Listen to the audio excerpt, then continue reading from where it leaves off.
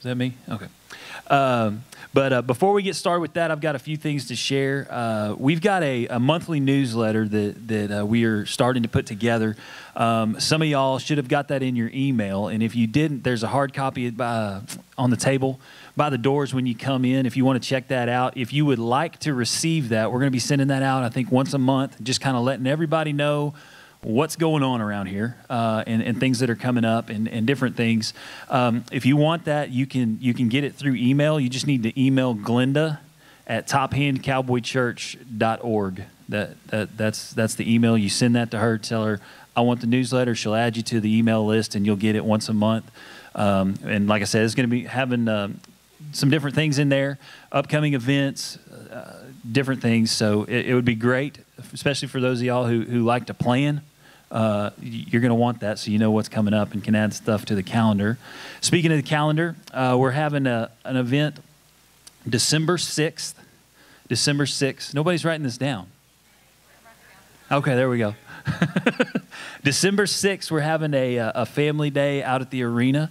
Uh, Cal Kids Arena and Chuck Wagon team are all getting together to just have a day of fellowship. And so it's right after church on the 6th. Uh, they're going to do hot dogs and stuff. Um, they're going to make, the kids are going to make, I guess you can if you want, but the kids are going to make stick horses and whoever else wants to. And then we're going to have stick horse races uh, in the uh, arena and some other different things. So put that on the calendar. Uh, plan to be here for that. Um, and then the last couple of things, just a reminder of the food drive and the uh, Christmas shoe boxes for kids. If, if you need more info, see the table as you come in. Um, some of y'all may know, some of you may not. Those those shoe boxes are sent all over the world, and for a child to receive that shoe box, they actually um, are are taken through a class that explains the gospel to them before they get that shoebox. It's not just that they're just passed out at random, but but they are they are given the gospel, and and then at that time they're they're given the chance to sign up for a class if they want to know more. It's like a six week training in Jesus, and so those shoeboxes do so much more than just give presents to to kids, um, but it's taken the gospel around the world. So if you can help with that, uh, like I said, there's there's more info. Just uh, just just look back there at the table and, and ask somebody about it.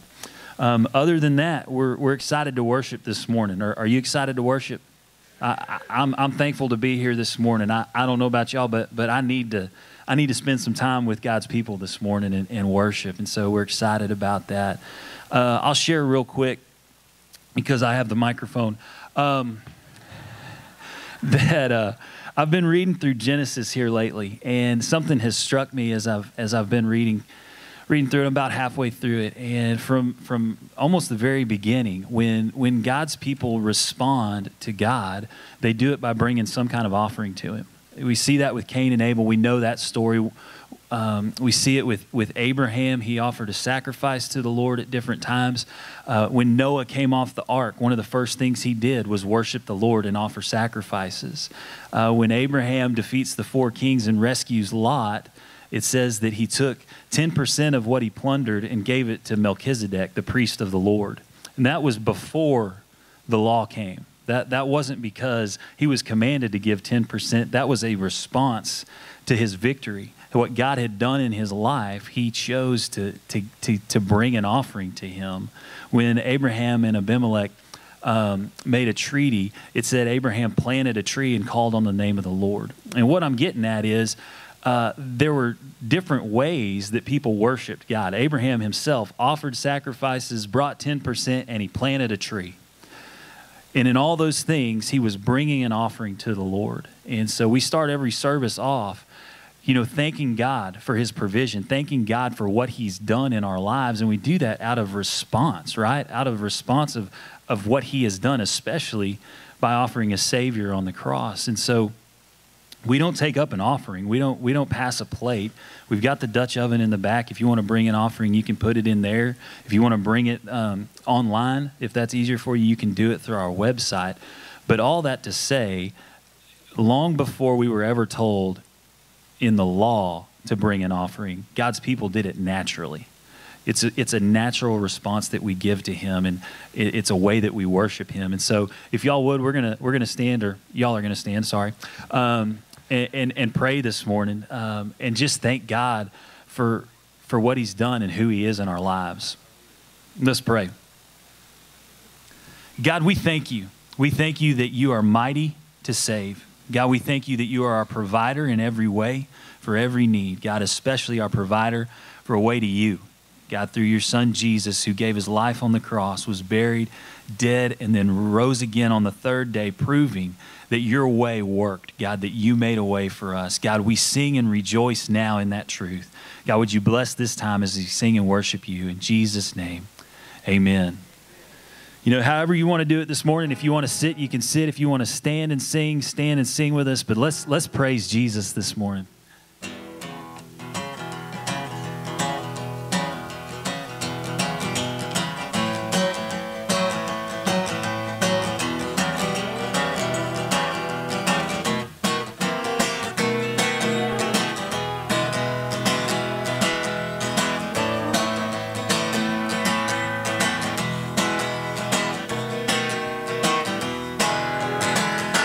Pressing on the upward way. New heights I'm gaining every day. Still praying as I'm onward bound. Lord, plant my feet on higher ground. Lord, lift me up, Lord, lift me up and let me stand by faith on heaven's table land, a higher plane, a higher plane that I have found. Lord, plant my feet on higher ground.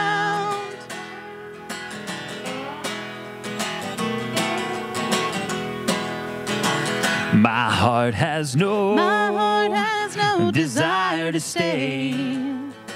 Where doubts arise and fears dismay. Though some may dwell, some may dwell where these abound, my prayer, my aim is higher ground. Lord, lift me up, Lord, stand by faith on heaven's table land, a higher plane a higher plane that that I have found. Lord, plant my feet on higher ground.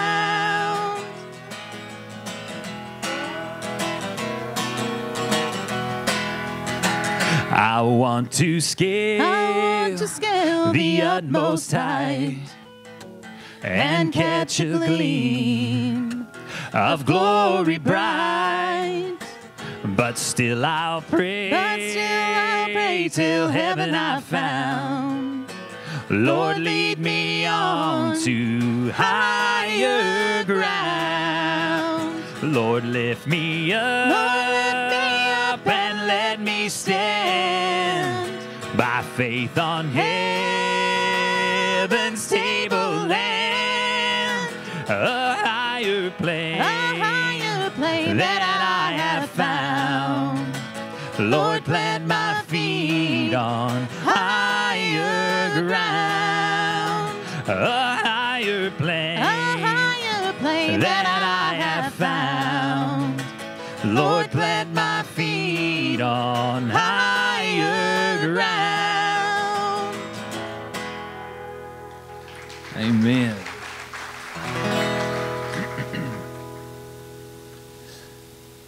Bring the pain that you've been hiding. Bring your scars and bring your shame. Every failure, every secret. Bring your fear that things won't change. Bring your dreams and bring your worries. Highest highs and lowest lows. Every hope you pin your heart on. Every hurt you can't let go. Healer, to the one who came to save, to the one whose love is is stronger than the power of the grave. Come and raise your hallelujah to the God who overcomes. Lift your hands, lift your heart to the one. There is joy and sweet forgiveness where the fount of mercy flows. Child of heaven, wait no longer. Hear the call and come back home. To the one whose name is healer, to the one who came to save, to the one whose love is stronger than the power of the grave. Come and raise your hallelujah to the God who overcomes. Lift your hands, lift your heart to the one. He is grace. He is peace. He is light.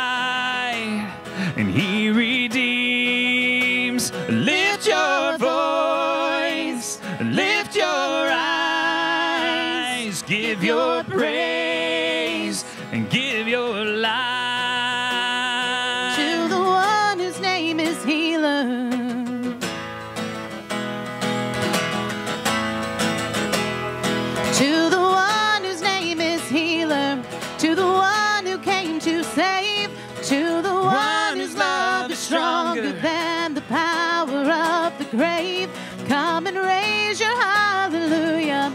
To the one who overcomes. Lift your hands, lift your heart to the one. Lift your hands, lift your heart to the one.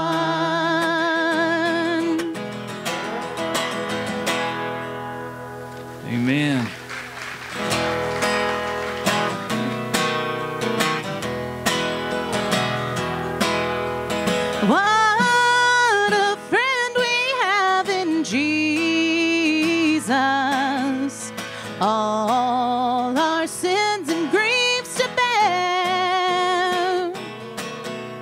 What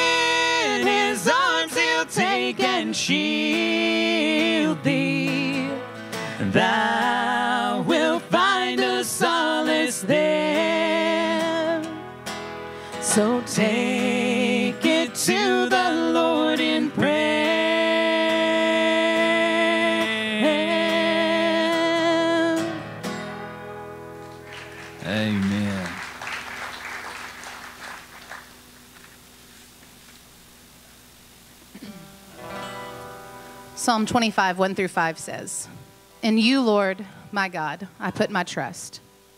I trust in you. Do not let me be put to shame, nor let my enemies triumph over me. No one who hopes in you will ever be put to shame, but shame will come on those who are treacherous without cause. Show me your ways, Lord. Teach me your paths. Guide me in your truth and teach me, for you are God, my Savior and my hope is in you all day long.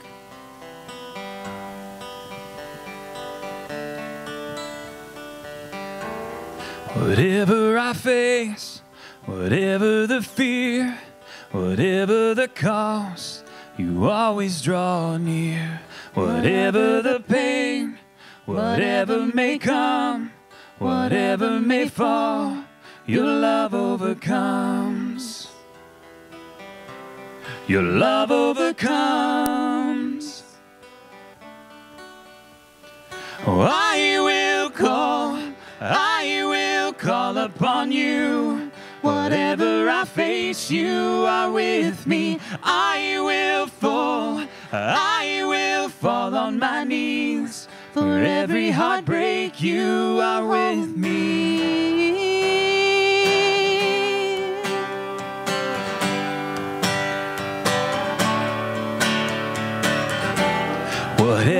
I face, whatever the fear, whatever the cost, you always draw near. Whatever the pain, whatever may come, whatever may fall, your love overcomes.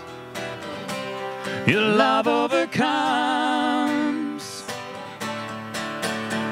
Yes, I will call, I will call upon you. Face, you are with me. I will fall, I will fall on my knees. For every heartbreak, you will hold me. You will hold me. So every wall will break, all the darkness shake, all the joy will be renewed. So every knee let's bow, raise a victory shout, for the King will make things new. Every mountain moved, every lie be loosed, for your banner we're lifting high. But neither depth nor height, nor any life could ever cast your love aside. Every wall will break, all the shake, all the joy will be made new. So every knee let's bow, raise a victory shout, for the King will make things new. Yes, I will call, I will call upon you. Whatever I face, you are with me. I will call, I will call upon you. Whatever I face, you are with me. I will fall, I will fall on my knees. For every heartbreak, you will hold me. You will hold me.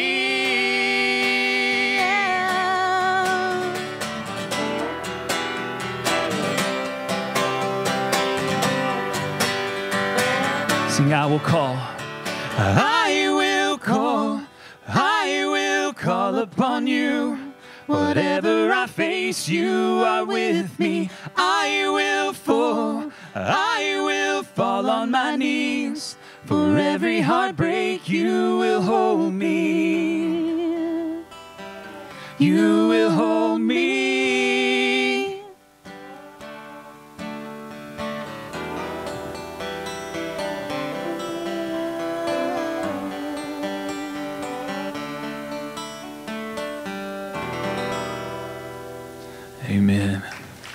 Would y'all pray with me?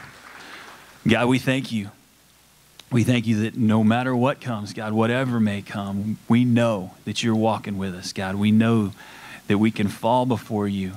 God, cast our cares, our anxieties, our prayers and supplications before you, Lord, and you will hear your children and you will act. God, we thank you for this place where we can come and just be with your people, God, to find encouragement and comfort.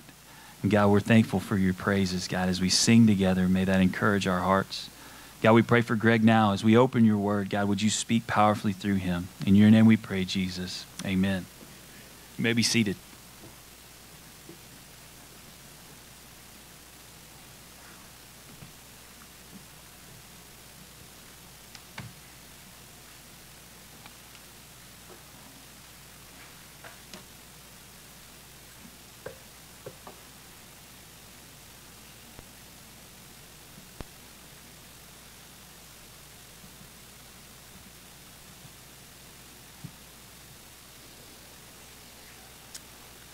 Well, this morning, I want us to think about something that's a little bit difficult. So I know when you see the title, you're going to say, Well, Greg, you've never been in my circumstances.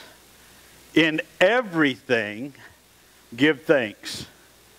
Now, think about that for a second. In everything, as you drive home with your pink slip to tell your spouse that you no longer have a job, as you walk out of the doctor's office, and you're not expecting to hear the news that you hear, as your precious child makes that one call from jail to say, Come get me. In everything, give thanks. Yes, in everything, give thanks. And we're going to learn today in God's Word, because of Paul's letter to the church at Thessalonica, how we can do that. Because I'm going to admit to you that I've seen some difficult days in my life, and I can honestly say there have been some moments that I have struggled, and I'm even going to confess that I didn't give thanks when I should have.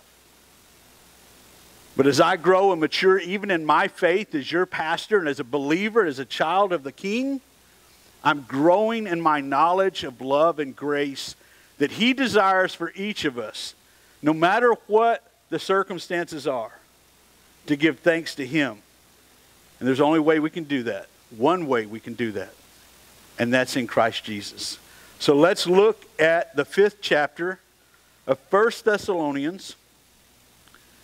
We're going to look at this chapter. We're going to focus on verse 18 because verse 18 is, I think, very clear, very easy to, to read, but I think we'll learn how to live it as we read verse 18. It says, Give thanks in all circumstances, for this is God's will for you in Christ Jesus.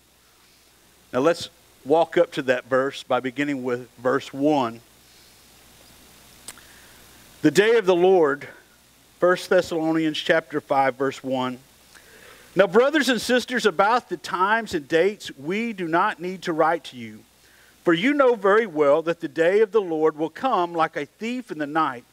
While people are saying peace and safety, destruction will come on them suddenly, as labor pains on a pregnant woman, and they will not escape. But you, brothers and sisters, are not in darkness, so that this day should surprise you like a thief. You are all children of the light and children of the day. We do not belong to the night or to the darkness. So then, let us not be like others who are asleep, but let us be awake and sober. For those who sleep, sleep at night, and those who get drunk, get drunk at night. But since we belong to the day, let us be sober, participating, putting on faith and love as a breastplate, and the hope of salvation as a helmet.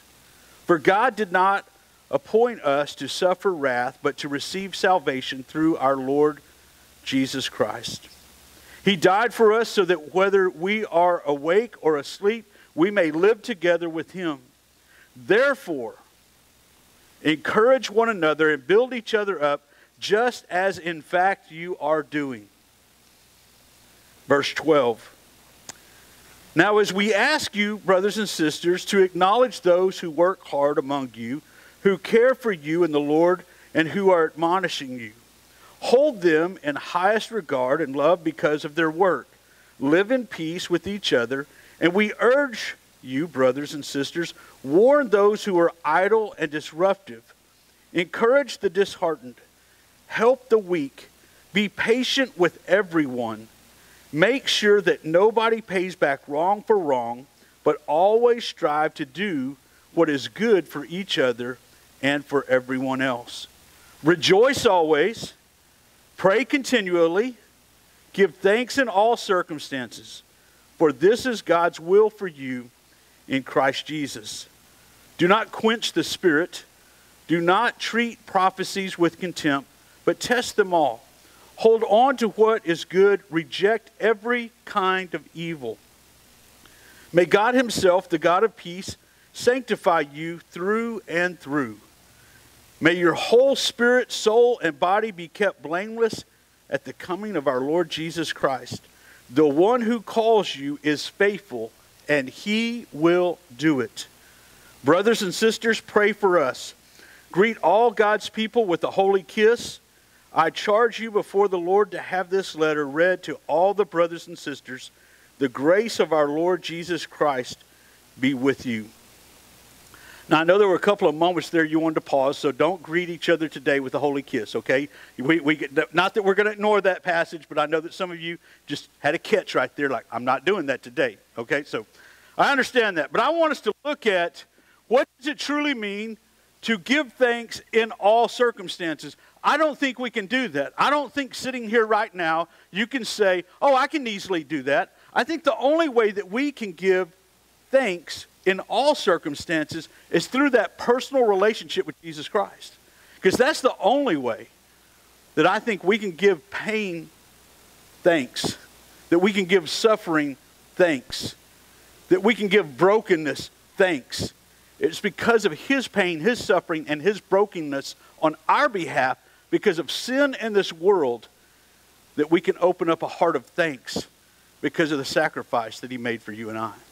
I want to challenge ourselves today to really begin to understand what Scripture is trying to teach us here. And I, I think when you see before verse 12, I, I know some of your Bibles have like subheadings, it says final instructions.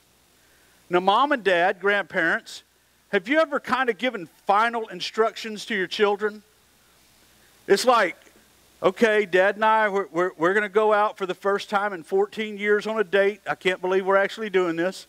But here are the instructions clean your room, do the dishes. What, what other instructions? Don't burn. Final instructions, all right? That, that's, that's good because I needed a final instruction, and that's a good one, right? So listen to me. Here are your final instructions don't burn down the house. And no partying while we're. Some of y'all have more experience that y'all are confessing to than we might need to know. So here's the thing.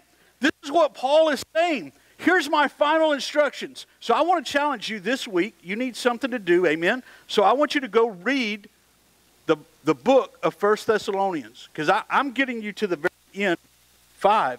But I want you to go in there and read what leads up to chapter 5 because here we are when Paul says, Here's your final instructions. Are you listening? See, that's when your mom and dad say, All right, do this, do this. Now, I really need you to listen to this part. Don't burn down the house, right? This is what Paul's saying. So he, he's preaching, he's writing this letter, but at the very end, he's saying, and here's the final instructions. Here's what I really want you to tune into. Here's what I really want you to understand and hear. And we're going to dig into that. Here's the purpose of the letter to encourage new believers and for others to live a godly life. We need to be encouraged by that, do we not? I was talking with a church member this morning about how important it is. Sometimes some of us need things on our refrigerator. Some of us need things on our bathroom mirror. Some of us need reminders right there on our nightstand. Maybe, maybe we ought to title it Final Instructions. Things that are significant and important to do. How many of y'all need that reminder that says, check the water? You barn people. Anybody here ever let the water run for a night or two? See, final instructions, pay attention, wake up, I need you, this is important. Here's what you need to do. Above all things, don't let the water run for 24 hours. Go check to make sure it's turned off. So, see, Paul is saying, new believers, this letter that I'm writing to you, here are the things that are significant. But here's the final instruction I want you to grab hold of. Believers, here, I'm going to show you how to live a godly life. But here, this last part of book, chapter 5, I really want you to sink in and take hold of this.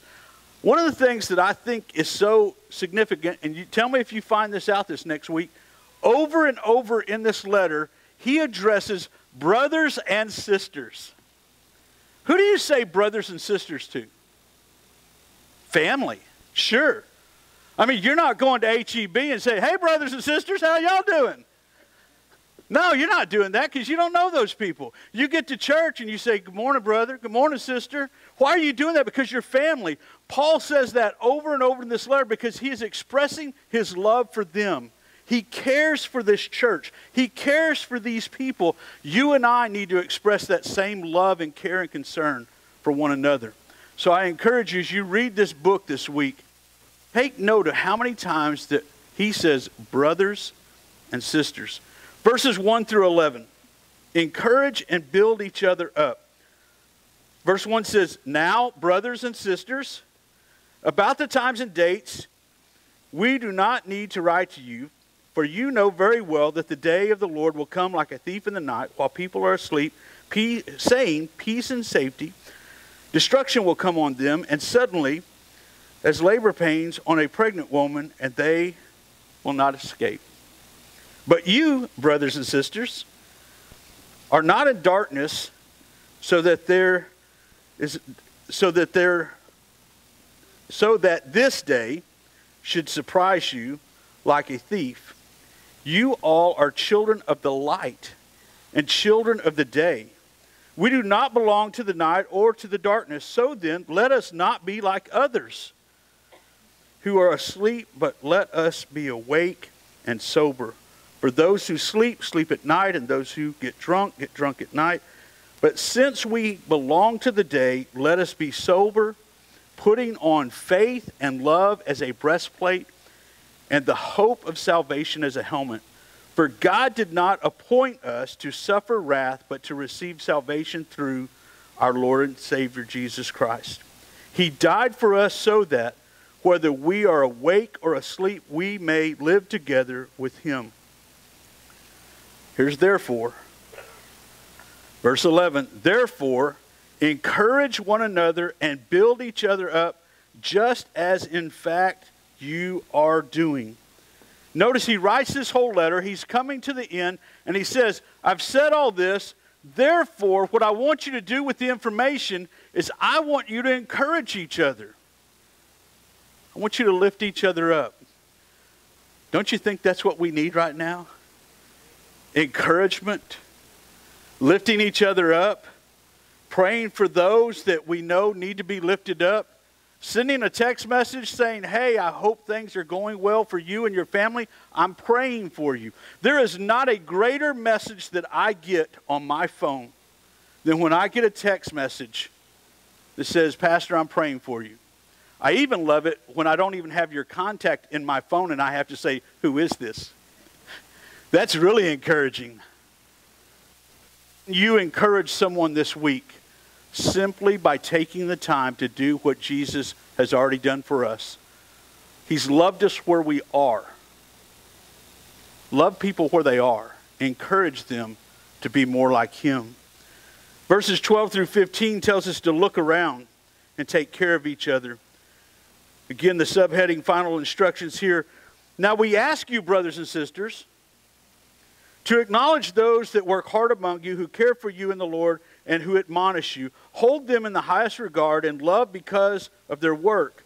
Live in peace with each other. And we urge you, brothers and sisters, warn those who are idle and disruptive, encourage the disheartened, help the weak, be patient with everyone. Make sure that nobody pays back wrong for wrong, but always strive to do what is good for each other and for everyone else. I, I want to go to verse 15 because I, I think it's so important because I, I want you to ask yourself when it says make sure that nobody pays back wrong for wrong, you know how to stop gossip? Don't even listen. Would you know, and you know deep inside when somebody's saying something, as believers, as brothers and sisters in Christ, we need to be able to say, Are you fixing to lift somebody up? Or are you fixing to put somebody down? Because if you're going to put them down, just stop. I don't want to hear it. If we're going to lift them up, I want to join in with that. Amen? But see, we don't do that anymore. We just let people walk, walk, walk, walk. And then whether we listen to it or not, we may walk away, but we listen to it. We listen to too much garbage. Amen? Instead of reading what God's Word tells us to do, instead of us looking around to see who we can help take care of, it means to take care of the weak. It means to take care of the immature. It means to take care of those that need some strengthening. And you and I are called to do that. How do we do that? Not just with words, but with our hands and feet. We can do this, but we have to make a decision that that's going to be a part of who we are. So, how do you rejoice always? Look at verse 16. Two words Rejoice always. Hmm. Wake up at 3 o'clock in the morning because dogs are barking. Praise Jesus. Is that what we do? You can't sleep. The whole family's gone to bed. Everybody's tucked in. You hear them snoring. Everything's perfectly peaceful. And you're saying, Lord, I really could use some sleep. Why am I awake? Hmm. Why might you be awake? To rejoice? Are you just complaining about the bad pizza you ate at 11 o'clock? See, we have a choice to make no matter what comes our way. And God's word tells us, Paul is reminding, in all circumstances, in everything, rejoice always. And then what does the next verse say? Pray continually. As you are rejoicing, pray. As you are rejoicing and praying, give thanks. Why? Because in all circumstances, this is what we're called to do. Why is that? It's God's will. How can it be God's will that the dogs are barking at 3 in the morning and I can't get any sleep? Because He wants you to spend time with His Son. Because notice what it says in Christ Jesus. Every circumstance that we face, we can take to Jesus. Amen? Irregardless of what it is, where it is, or what time it is, we can say, No, Jesus, I need a little help here. We call him our friend. What a friend we have in Jesus. He is our comforter, He is our confidant, He is our Lord, He's our Savior. There's no time that we can't go to Him, so surely we can rejoice. Have you ever seen somebody rejoicing when nobody else is rejoicing?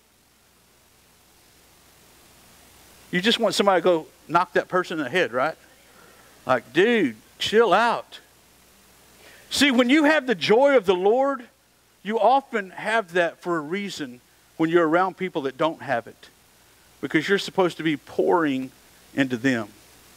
Praying about pouring the joy of the Lord that you have into them. And the only way that you'll do that and it will be received is if you do it in the love of Jesus Christ.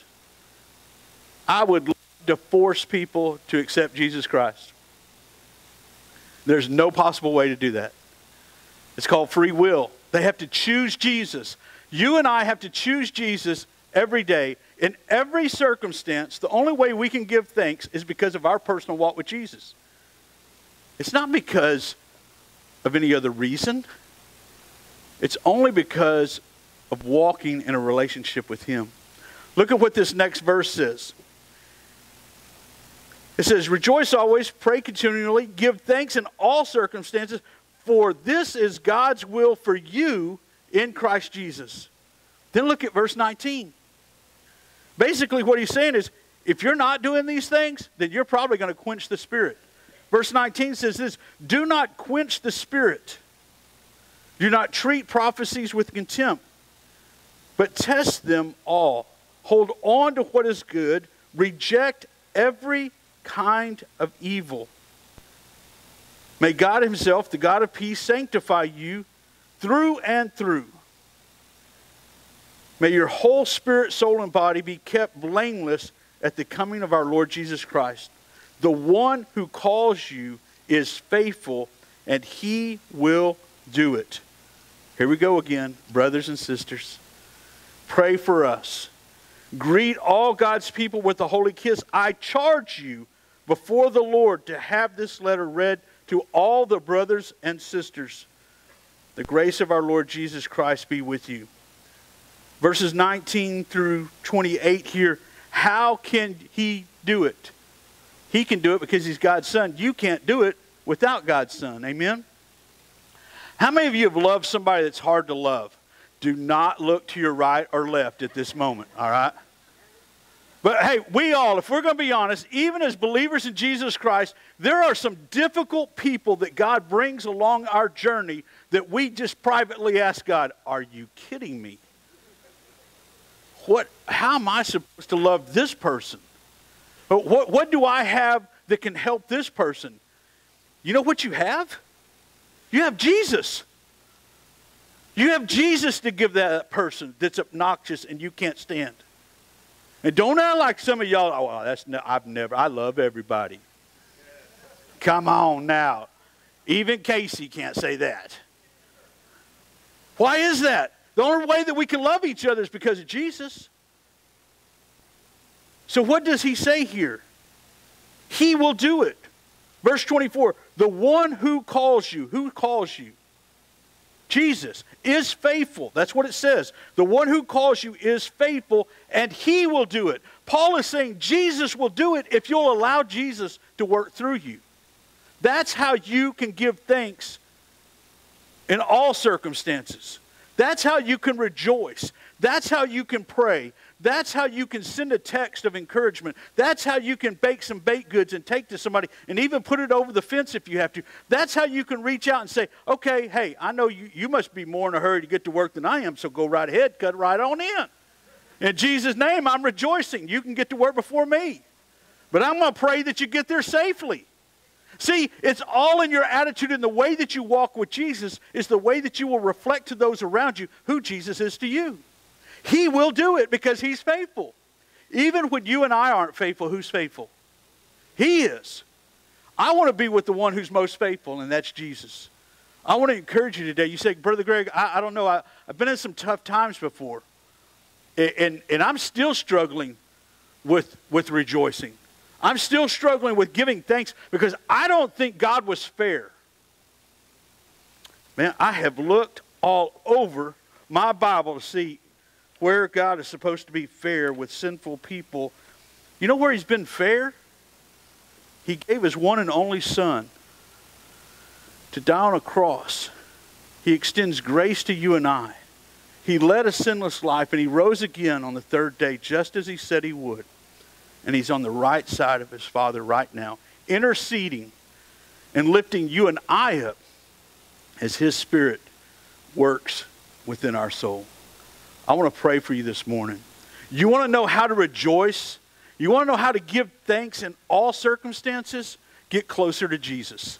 It's the only way that it's possible because it literally doesn't make sense when you read it at first. Because the first thing you do is you think of times that you can't give thanks to God. You think of bad moments in your life. Well, there's no way that God was working in that situation. Bad things happen to good people. If you haven't lived long enough and you never heard that, let me be the first one to tell you. But good things happen to those who trust in Jesus Christ. It may not be on this side of the Jordan, it may be on the other. But I want to live like I'm already on the other side of the Jordan because I've got Jesus living within me. Amen? This morning, I want to encourage you. We're going into Thanksgiving. All of the world is falling apart all the craziness, all the things, whether we can get together for Thanksgiving and all that nonsense. Man, let that stuff go. Amen? Get in the Word, walk with Jesus, and I promise you, you will find yourself giving thanks in all circumstances. Stand with me this morning. Let's pray together.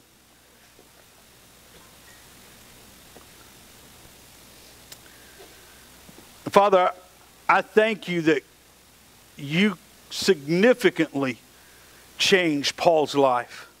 Lord, you changed it in such a way that people were astonished that the one who was going around killing Christians is now the one that writes letters of hope,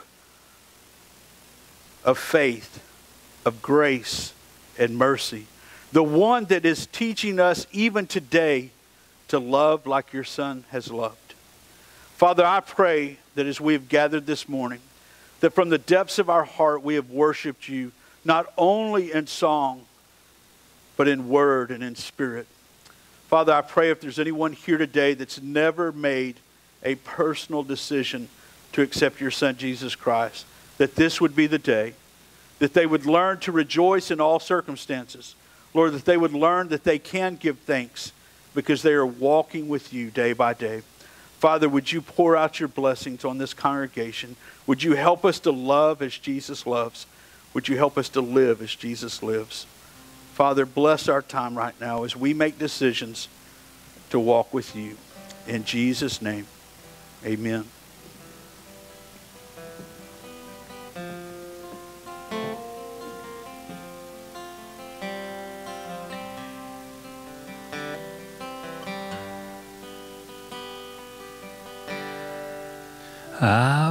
Was a wandering soul, traveling a well-worn road, a sinner so far from home, with no second chance inside.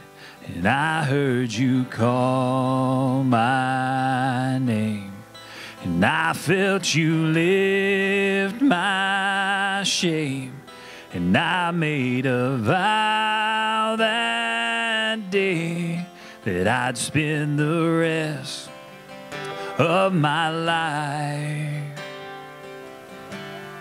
loving my Jesus and showing my scars and telling my story of how mercy can reach you where you are. I pray that the whole world hears the cry of my heart is to see all the ones I love loving my Jesus. Sin tries to make you hide and whispers that same old lie. Keep all your pain inside, cause no one will understand. The last thing this lost world needs is someone I'm trying to be.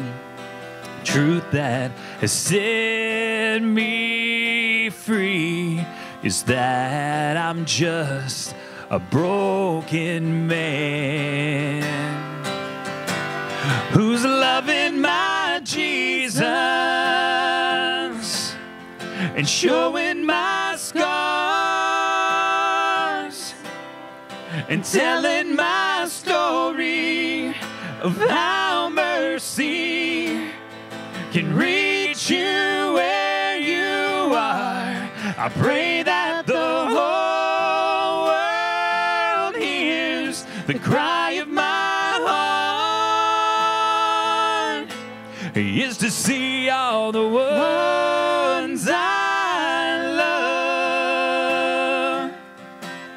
loving my Jesus.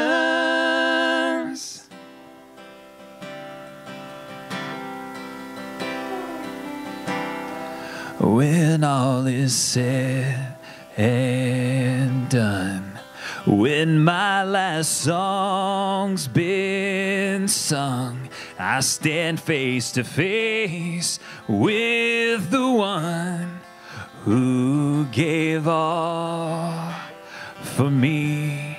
May all I have to show be all that mattered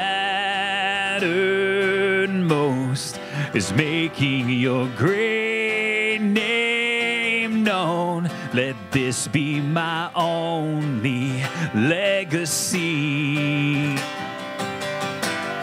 I'm loving my Jesus showing my scars and telling my story of how mercy can reach you where you are. I pray that the whole world hears the cry of my heart is to see all the ones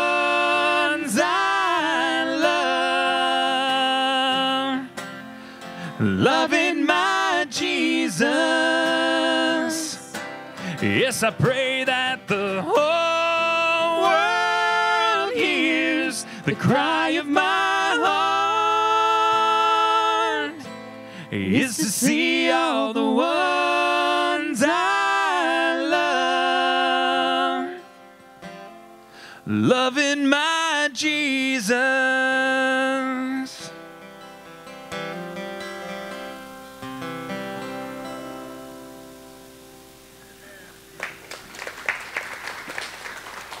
So, how many of y'all were thinking of the ones that you love singing that song right then and what it would look like to see them loving Jesus? So, if you're wondering what you should be praying for this week, take that song and pray for those that you love, that wherever they are, whether they're local or far away, that they might begin loving Jesus the way that you do. Amen? I want to encourage you, we're going to do something di- a little different this year at Christmas Eve. We're going to do the Christmas blessing. That's what we're calling it. We have, just like many of us have, we've hopped along through this year, and uh, we're looking at having an in gathering uh, that night for our offering. And so I want to encourage you to be praying about it. You'll get more in the December newsletter about that. But we're excited to see what God's going to do in 2021. He's not done in 2020 yet, so don't be don't be rushing through this year because he's still got blessings for us. Amen. So I hope that as you go this week that you'll be praying for those that you were just thinking about, that you'll be praying for what God wants to do through this church in the coming years. Amen. Let's close by singing Jesus loves me. Jesus loves me, this I know. For the Bible tells me so. Little ones to him belong. They are weak, but he is strong. Yes, Jesus loves me. Yes, Jesus loves me. Yes, Jesus loves me. The Bible tells me so.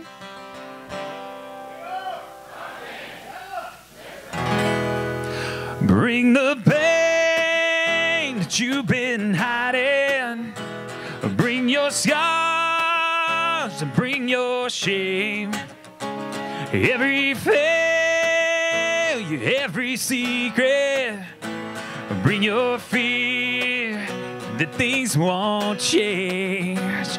Bring your dreams and bring your worries. Highest highs and lowest lows. Every hope you pin your heart on. Every hurt you can't let go. To the one whose name is healer, To the one who came to save, to the one whose love is stronger than the power of the grave. Come and raise your hallelujah to the God who overcomes. Lift your hands, lift your heart, to the one. There is joy in sweet forgiveness where the of mercy flows. Child of heaven, wait no longer. Hear the call and come back home. To the one whose name is healer, to the one who came to save, to the one whose love is stronger than the power of the grave. Come and raise your hallelujah to the God who overcomes. Lift your hands, lift your heart to the one.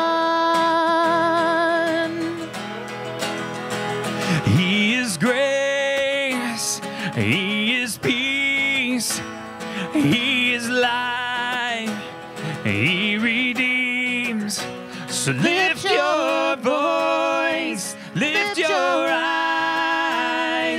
give your praise, give your life. To the one whose name is healer, to the one who came to save, to the one whose love is stronger than the power of the grave.